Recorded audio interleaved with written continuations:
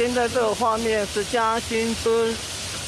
的一零六线哈，通往秀武潭的路线，现在是不通的啊。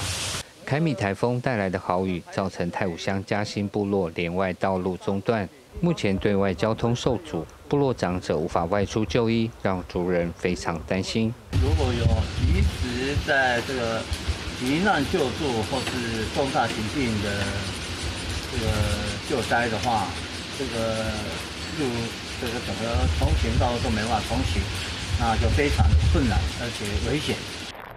而乌台乡道部落对外的联络桥梁乌达二号便桥，更被暴涨的野溪冲毁，目前道路中断，成为孤岛。而雪上加霜的是，另一座古人人桥，桥墩基座被暴涨溪水冲刷，出现崩塌。大二号桥是我们大武村唯一对外的唯一的联络道路，那目前现在看到它已经被冲毁，我们唯一的联络的桥梁现在基座也被冲毁。凯米台风夹带的豪雨，在中南部带来严重农损。根据农业部会整各县市查报资料显示，全台农损金额超过三点六亿元，而受损最严重的屏东就达到二点四亿元，其中香蕉是受损最严重作物。屏东县长周春米二十六号视察后表示。将全力争取农业天然灾害救助。屏东这一次因为凯米台风来袭所造成的农业灾害损害是全国最高的，我们会尽快统整。那明天赖总统来，一定也会做最好最好的一个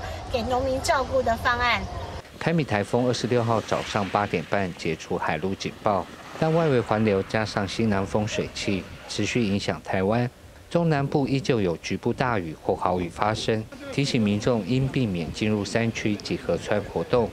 原是新闻歌手屏东雾台泰武屏东市采访报道。